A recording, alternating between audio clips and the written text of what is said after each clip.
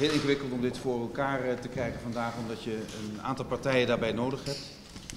Ik uh, ben de OVC zeer dankbaar voor de ondersteuning die zij ons daarbij hebben gegeven. Um, zij hebben um, namens ons ook contact gelegd met uh, de separatisten daar die toestemming hebben gegeven dat onze experts daar ook actief zullen zijn. Ik hoop dat dit het begin is van een belangrijke operatie. Omdat het enige wat ik tegen iedereen eindeloos heb herhaald vandaag is... mijn topprioriteit is onze mensen naar huis te krijgen. Ik vind dat Nederlandse nabestaanden het recht erop hebben om hun dierbaren zo snel mogelijk weer in Nederland uh, te hebben. Om ze te kunnen begraven, om te kunnen rouwen.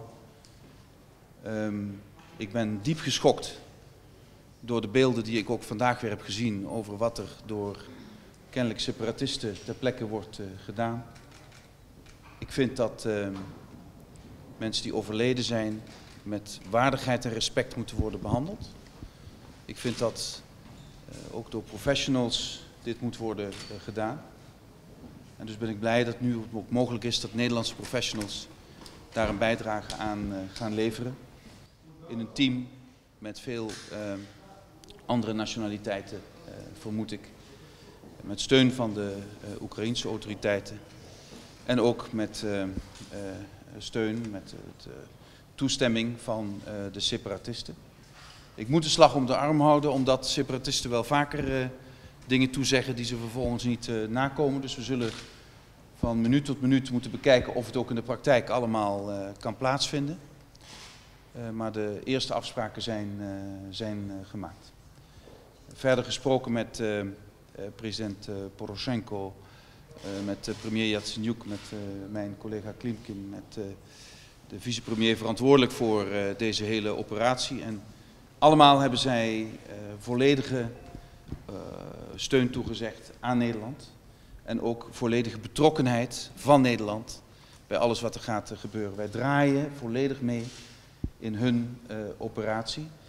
We hebben ook afgesproken dat in belang van de slachtoffers en de nabestaanden op de best mogelijke manier eh, ook met de stoffelijke overschotten om zullen gaan. Dus daar waar ze het beste, het snelste geïdentificeerd kunnen worden, zal dat ook gebeuren. En ik ben blij met de toezegging van de Oekraïnse autoriteiten. Het is ook een genereuze toezegging dat zij daarbij niet eh, zeg maar, zichzelf als haantje de voorste zien, maar juist in samenwerking met andere landen, de landen waar eh, de slachtoffers vandaan komen, willen uh, werken. Ik hoop dat we zo stap voor stap iets verder uh, komen. Het blijft een ongelooflijk moeilijke situatie. Het is natuurlijk ook een gebied waar het zeer onrustig is, dat weet u allemaal. En waar het dus erg moeilijk werken is. En ik ben heel erg trots op de Nederlanders die namens ons daar ook die werkzaamheden willen gaan verrichten in samenwerking met onze partners uit Oekraïne en andere landen. Dus op dit moment lijkt het erop alsof er uh, daadwerkelijk ook uh, gewerkt uh, kan worden aan het bergen van de stoffelijke overschotten en beginnen met de identificatie ervan. Um, maar ik hou een slag om de arm, want u weet hoe, hoe volatiel de situatie is. separatisten die nu zeggen mee te zullen werken, veranderen misschien van mening en dan wordt het misschien te gevaarlijk om het te doen.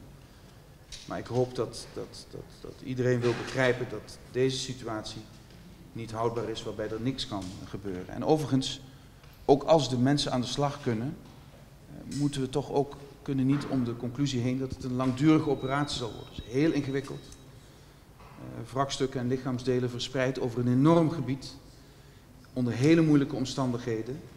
Mensen die dat werk zullen moeten doen, uh, zullen daar echt tijd voor nodig hebben. Dat zal zullen vele dagen, misschien wel weken overheen gaan voordat zo'n operatie is voltooid. Uh, voorzichtige stappen kunnen worden gezet om in ieder geval de lichamen uh, te bergen. En vervolgens op een andere plek te kunnen overgaan tot het identificeren van de stoffelijke overschotten. of er vervolgens ook echt onderzoek kan worden gedaan naar wie verantwoordelijk is, naar wat er precies gebeurd is. Dat zal de tijd uh, moeten uitwijzen. Wij zullen daar in ieder geval met kracht uh, voor pleiten. Uh, maar ik heb ook duidelijk gezegd dat onze eerste prioriteit nu is om de lichamen van Nederlanders weer terug naar Nederland te halen. U heeft vandaag ook de beelden gezien van hoe daar op dit moment wordt omgegaan met de lichamen. Er wordt mee gezult. Ehm, sommige zouden zijn verdwenen. Uh, gruwelijk om dat te zien. Uh, volkomen onaanvaardbaar dat er zo respectloos uh, met lichamen wordt, met stoffelijke resten wordt omgegaan. Ik hoop dat we nu met behulp van de OVC, met behulp van de Oekraïnse autoriteiten die alle medewerking hebben toegezegd, met behulp van onze partners uit de hele wereld op een zeer respectvolle, ordentelijke manier kunnen zorgen voor de berging van de lichamen en ook de identificatie ervan. Er zijn verhalen dat sommige lichamen al geborgen zijn. Weet u daar iets van? Ik heb ook die geruchten uh, gehoord. Uh, uh, we krijgen bijna niets bevestigd. Er wordt een hele hoop gezegd, maar niks bevestigd.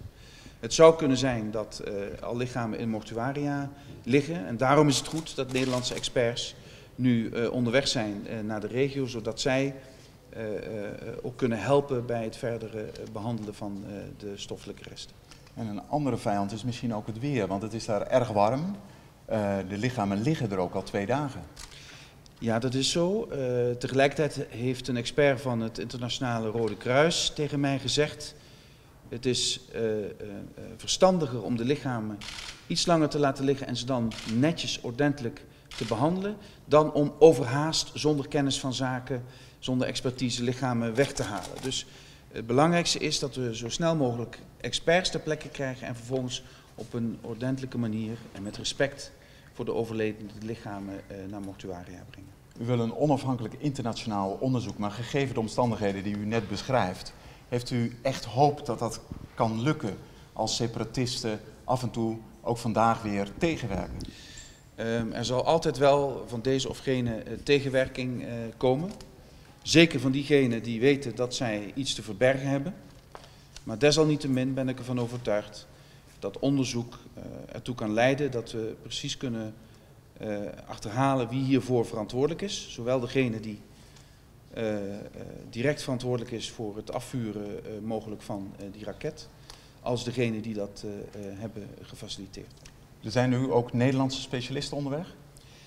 Um, er zijn nu Nederlandse specialisten onderweg naar de regio. Dat zijn specialisten in het identificeren van stoffelijke resten en het helpen met het behandelen, correct behandelen van stoffelijke resten. Ja, u heeft ook gesproken met president Poroshenko. Wat heeft hij u kunnen toezeggen? Hij heeft mij uh, alle steun en medewerking toegezegd van uh, de Oekraïnse autoriteiten. Hij maakt het ook heel persoonlijk. Hij zegt dat hij er zelf op zal toezien dat dat ook volledig gebeurt. Hij heeft ook aangegeven dat voor hem daaraan geen beperkingen zijn. Hij wil per se dat er internationaal onafhankelijk onderzoek komt naar wat er is gebeurd. En hij heeft ook uh, gezegd dat voor hem onaanvaardbaar is dat met stoffelijke resten zou worden gesold. Maar een beetje de machteloosheid tekent natuurlijk ook het feit dat u hier bent en de lichamen daar zijn. Dat het gewoon ook heel moeilijk wordt om uw belofte aan de nabestaanden waar te maken in het gebied waar ze nu liggen. Ik denk niet dat het veel uitmaakt of ik in Kiev sta of in Donetsk. Waar het om gaat is dat de mensen die het echte werk moeten doen, dat ter plekke kunnen doen. En dat leek gisteravond nog onmogelijk. Dat lijkt nu mogelijk. Maar we zullen van uur tot uur moeten bekijken of dat ook in de praktijk uh, uh, kan worden gedaan. Ik zal in ieder geval niet stoppen totdat ik zeker weet dat de Nederlanders weer terug naar Nederland kunnen. U weet dus nog niet waar die lichamen geboren gaan worden en geïdentificeerd gaan worden? Uh, daar hebben de Oekraïners een aantal mogelijkheden voor aangedragen. Uh, maar ze hebben ook, uh, hè, dus dat, ze hebben koelwagons die kant uh, opgestuurd. Ze hebben ook een aantal plekken aangegeven waar dat zou uh, kunnen. Um, maar van onze kant hebben wij aangegeven, laten we afspreken dat we daar doen waar het het snelste en het beste kan. Dat kan dus ook in Nederland zijn. Okay. En daar hebben ze van gezegd, oké, okay, we gaan doen wat het beste uitpakt. En het kan dus ook in Nederland zijn, hebben de Oekraïnse autoriteiten ook gezegd. Oké. Okay van het nabestaande naar Oekraïne zouden komen? Oh, dat, dat weet ik eerlijk gezegd uh, niet. Uh, maar mij ging het er vandaag om dat we op een, zeg maar, een, een, een uh, rationele manier, niet, niet zeg maar met territoriumdrift kijken wie wat doet, maar dat we kijken wat het beste is voor zo snel mogelijk identificeren van de stoffelijke resten.